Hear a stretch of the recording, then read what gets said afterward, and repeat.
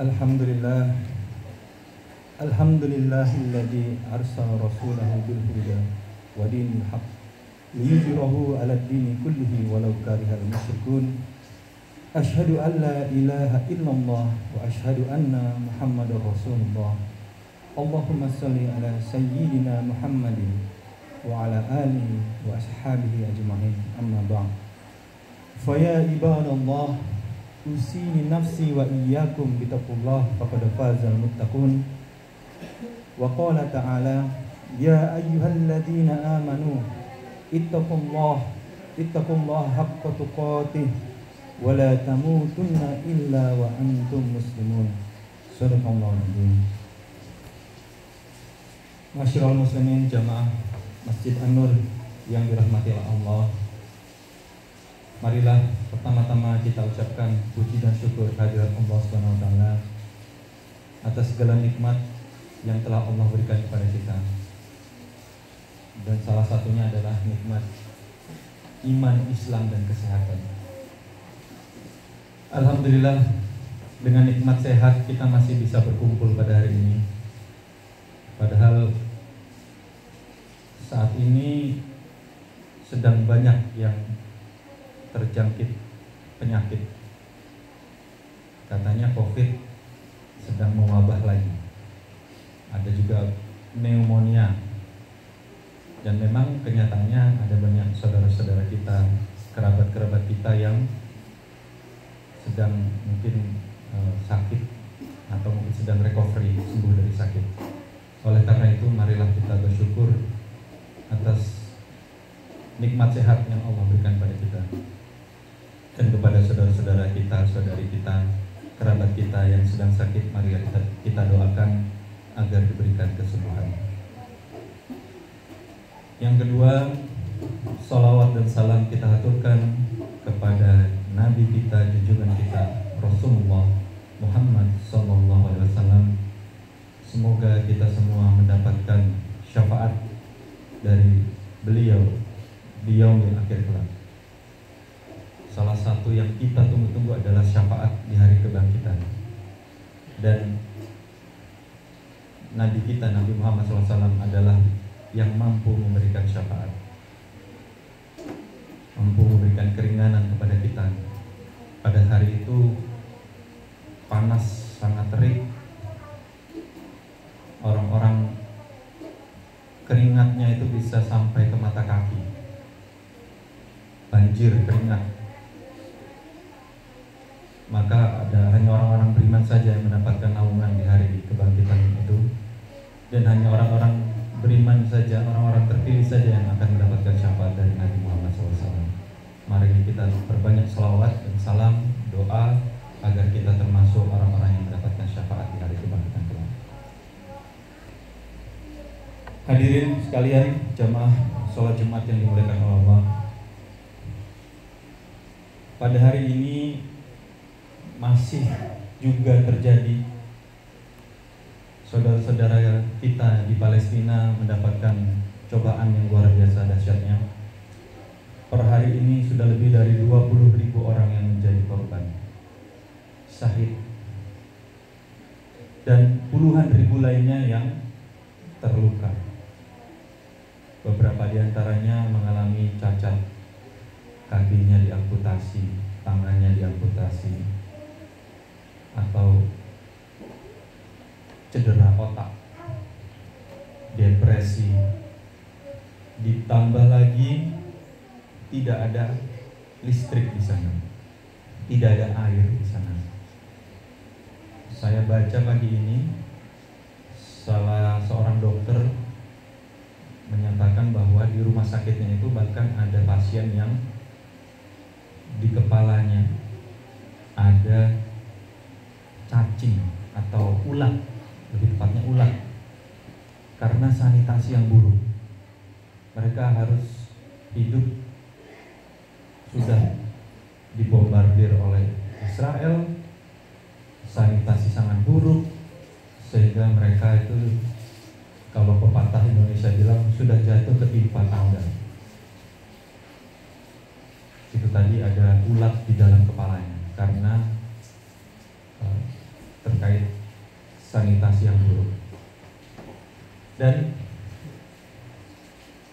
media-media barat Zionis ini tidak henti-hentinya menyebarkan propaganda, memutarbalikkan fakta.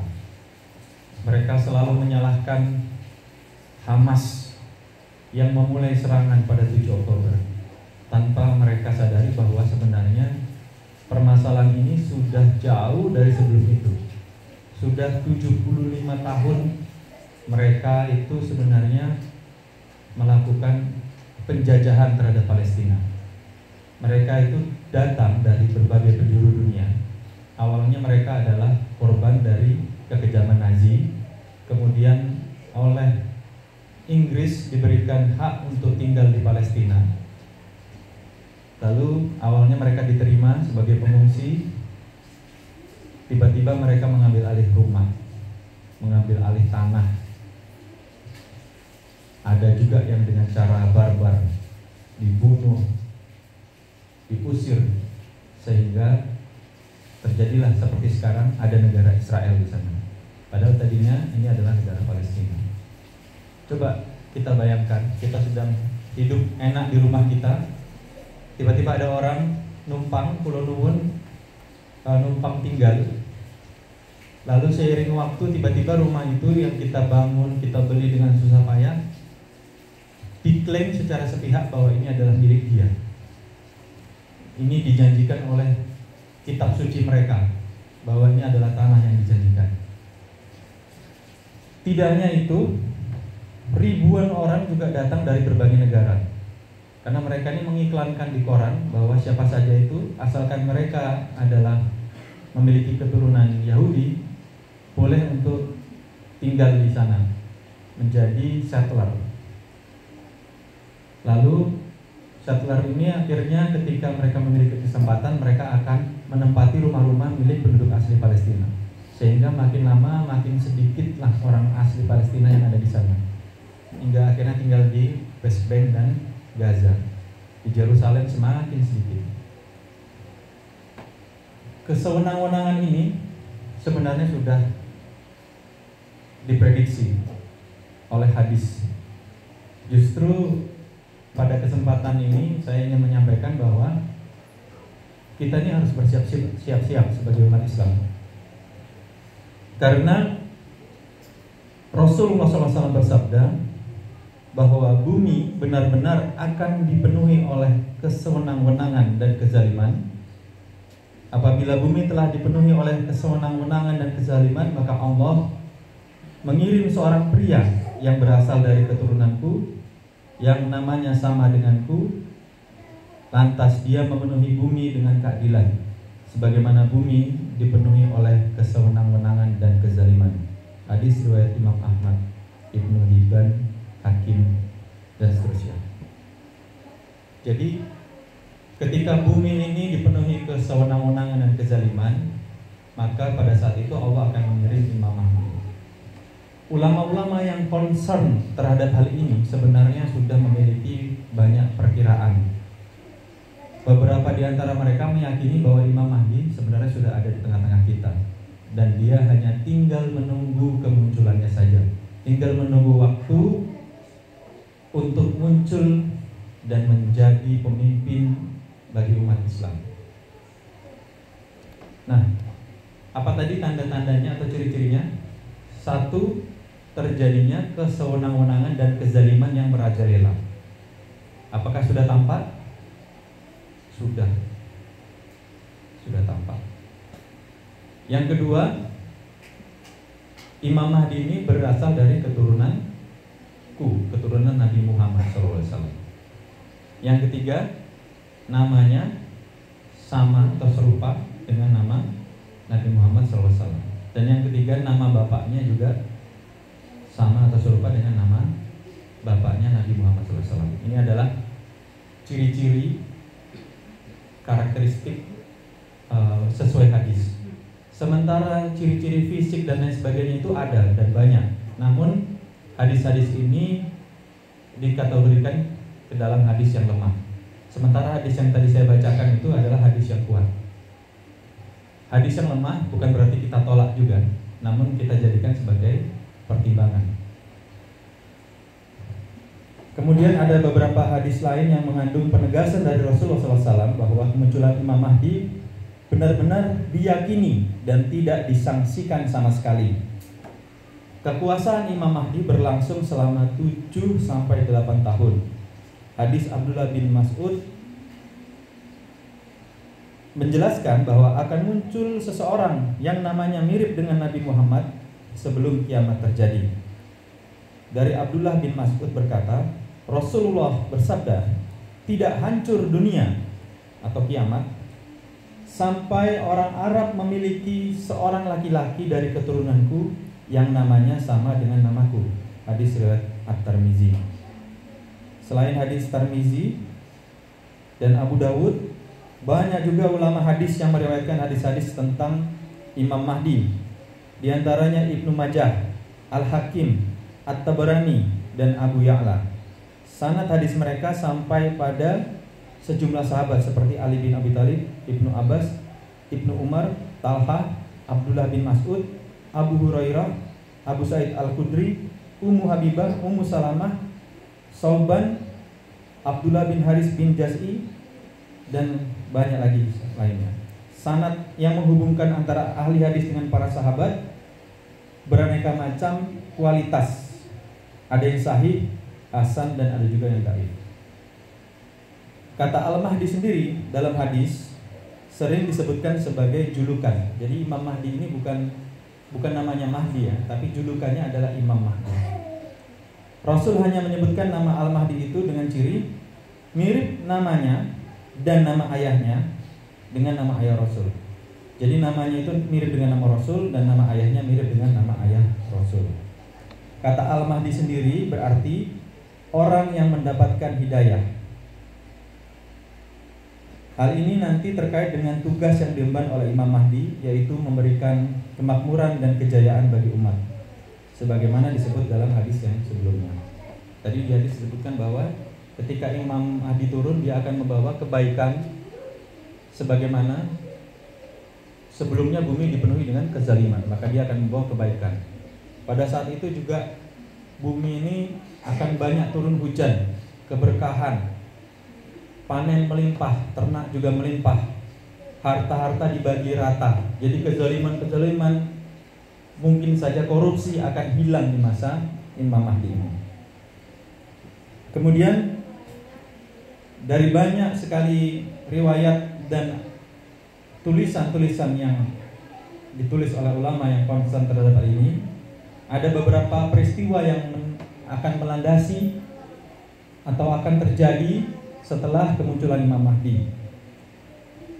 Imam Mahdi ini kemunculannya diawali dengan konflik internal para penguasa Jazirah Arab. Kemudian akhirnya dia muncul dan dia dibaiat dengan paksa di Mekah. Pada saat dia di bayat ini akan muncul pasukan khusus yang akan diutus untuk menghadisi Imam Mahdi.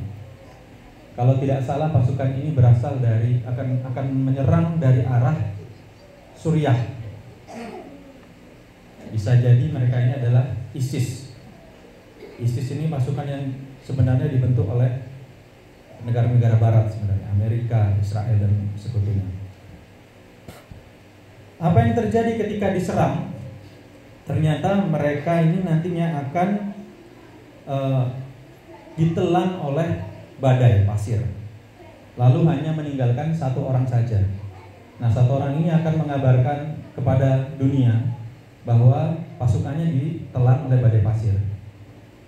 Dan justru karena kejadian inilah maka para ulama mengambil kesimpulan bahwa ini adalah Imam Mahdi yang asli. Kenapa? Ya karena ini semua sudah tertulis di dalam hadis. Ketika sudah tertulis dalam hadis bahwa akan terjadi kejadian ini dan ternyata terjadi betulan, maka dipastikan bahwa ini adalah Imam Mahdi yang asli. Kemudian setelah itu akan terjadi perang dengan pasukan dari Suriah. Karena Suriah saat ini itu sebenarnya ada tiga kekuasaan yang sedang berperang di sana. Maka itu akan menjadi peperangan pertama Imam Mahdi. Setelah berhasil menang, menyusul perang dengan bangsa Persia. Persia itu sekarang Iran. Kenapa? Karena kita ketahui bersama bahwa bangsa Iran ini didominasi oleh uh, Syiah. Syiah ini memiliki keyakinan bahwa Imam Mahdi itu sebenarnya berasal dari keturunan nabi yang mereka kultuskan. Jadi ada ada keturunan nabi yang kesekian yang hilang. Mereka menganggap dia itu hilang secara goib dan nanti akan dimunculkan lagi sebagai Imam Mahdi. Namun begitu mereka mengetahui bahwa ternyata Imam Mahdi yang dibeat adalah bukan itu, mungkin mereka akan melakukan pemberontakan dan ini akan menjadi peperangan kedua yang dialami oleh Imam Mahdi. Kemudian perang berikutnya adalah dengan kaum yang bermata sipit. Namun perang ini nanti Imam Mahdi itu tidak sendiri. Jadi umat Islam di bawah Imam Mahdi ini akan berkoalisi dengan tentara Rum. Kalau zaman dulu Rum, kalau sekarang mungkin Eropa itu ya. Setelah kemenangan yang mereka capai, terjadi perselisihan. Akhirnya tentara Islam di bawah Imam Mahdi akan bertempur melawan tentara Rum yang merupakan gabungan dari 80 panji. Kalau kita bisa artikan panji ini bendera. 80 bendera ya 80 negara. Maka kita akan berperang dengan 80 negara dari Eropa dan mungkin Amerika, Australia. Ini adalah perang yang luar biasa besarnya. Dan pada saat terjadi perang ini, hadis ini menggambarkan bahwa sepertiga pasukan Imam Mahdi ini akan melarikan diri. Dan semoga kita tidak termasuk ke dalam sepertiga orang-orang yang melarikan diri sebelum perang itu. Karena apa yang dituliskan oleh hadis, tobatnya orang-orang ini tidak diterima. Tobatnya orang-orang yang melarikan diri dari perang tidak ikut beserta bersama-sama membantu pasukan muslim tobatnya tidak akan diterima sehingga tinggal dua per tiga pasukan Islam dari dua per tiga ini sepertiga akan mengalami syahid. Sehingga tinggal sepertiga saja pasukan Islam. Dan ini adalah peperangan yang sangat-sangat besar. Para ulama ketika menjelaskan tentang peperangan ini tentang hadis ini sambil meneteskan air mata. Karena dalam peperangan ini itu digambarkan dari 100 orang 99 meninggal. Hanya tinggal satu yang selamat. Jadi satu banding 100 jadi kalau ada 200 warga Patma hanya tinggal dua. Saking besarnya perang ini. Dan hadis lain menggambarkan perang akhir zaman ini disebutkan sampai burung-burung itu berjatuhan. Apakah burung beneran atau pesawat-pesawat tempur yang berjatuhan. Tapi ini digambarkan dalam hadis. Luar biasa. Hadis ini bisa menerawang sampai ke masa depan, sampai kita bisa menafsirkan. Kalau memang itu burung beneran sampai berjatuhan, berarti ini adalah ya mungkin sekelas bom nuklir yang luar biasa dahsyatnya. Atau bisa juga diartikan dengan burung besi atau pesawat tempur yang berjatuhan. Lalu akhirnya umat Islam menang namun kemenangan ini tidak diiringi dengan kebahagiaan. Kalau zaman dulu ketika kita menang, kita mendapatkan gonimah atau harta-harta hasil peperangan, hasil rampasan perang. Namun pada saat ini harta-harta itu tidak bernilai. Karena untuk apa kita membawa harta tapi kita kehilangan kerabat-kerabat yang kita cintai? Apakah kita sudah siap kehilangan istri kita, anak kita, saudara-saudara kita? Maka kita harus belajar dari kebesaran hati saudara-saudara kita di Gaza yang bisa tetap tabah ketika ibunya menjadi martir, menjadi syuhada, anaknya, cucunya menjadi syuhada, mereka bisa berlapang dada, mereka tahu bahwa ini adalah ketetapan dari Allah. Mereka tetap mengatakan hasbunallah wa ni'mal wakil. Cukuplah Allah sebagai penolong. Dan ini harus kita pelajari kebesaran hati saudara-saudara kita di Gaza. Dan pada akhirnya setelah peperangan ini, setelah jumlah umat pasukan Islam tinggal sepertiga, muncullah Dajjal. Jadi Dajjal itu muncul di situ. Maka dari itu banyak ulama menyatakan bahwa peperangan nanti dengan Dajjal dan pengikutnya ini kita tidak lagi menggunakan uh, senjata, tapi kembali lagi dengan pedang, tombak, dan tongkat. Karena uh, mungkin saja pada masa itu sudah habis mungkin senjata-senjata dan amunisi sudah habis, tinggal senjata-senjata manual. Lalu nanti terkait Dajjal, Dajjal ini nanti akan Eh, berpuasa selama 40 hari. Namun hari-hari awal ini seperti setahun atau dua tahun. Dan dia bisa dengan cepat mengunjungi daerah-daerah di muka bumi. Dan terkait Dajjal ini mungkin nanti akan kita sampaikan akan saya sampaikan di sesi berikutnya di lain kesempatan demikian semoga kita semua dapat mengambil ibroh dari kejadian akhir zaman. Kita bisa belajar dari saudara-saudara kita di Palestina tentang ketabahan, tentang keyakinan kepada Allah. Dan kita harus pahami bahwa kita semakin dekat dengan akhir zaman. Ulama berkata ini seperti buruh, eh, busur, busur panah. Yang ketika dilepas itu langsung bertemu antara tali dengan busurnya karena ini sangat dekat, akhir zaman itu sangat dekat. Mari kita siapkan diri kita. Aqulu qawli hadza wa astaghfirullah li wa lakum fastaghfiruhu innahu huwal ghafurur rahim.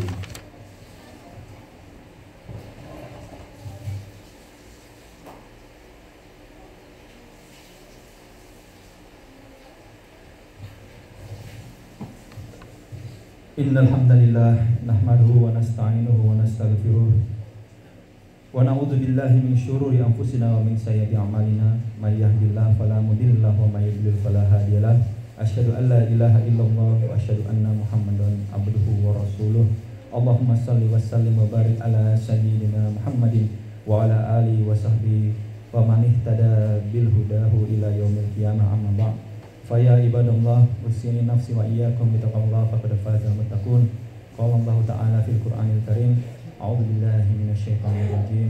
إن الله وملائكته يصلون على النبي. يا أيها الذين آمنوا صلوا عليه وسلموا تسليما. اللهم صل على محمد وعلى آل سيدنا محمد كما صليت على إبراهيم وعلى آل إبراهيم وبارك على محمد وعلى محمد كما باركت على إبراهيم وعلى إبراهيم في العالمين إنك حميد مجيد. اللهم اغفر للمسلمين والمسلمات والمؤمنين والمؤمنات الأحياء منهم والأموات إنك السميع قريب مجيب دعوات يا قاضي الحاجات ربنا ظلمنا أنفسنا وإن لم تغفر لنا وترحمنا لنكونن من الخاسرين ربنا هب لنا من أزواجنا وذريتنا قرة أعين واجعلنا للمتقين إماما ربي اجعلني مقيم الصلاة ومن ذريتي ربنا تقبل دعاء ربنا اغفر لنا ذنوبنا ولوالدينا وارحمهما كما ربيانا صغيرا ربنا لا تزغ قلوبنا بعد إذ هديتنا وهب لنا من لدنك رحمة إنك أنت الوهاب ربنا آتنا من لدنك رحمة وهيئ لنا من أمرنا رشدا ربنا آتنا في الدنيا حسنة وفي الآخرة حسنة وقنا عذاب النار والحمد لله رب العالمين. أتم السلام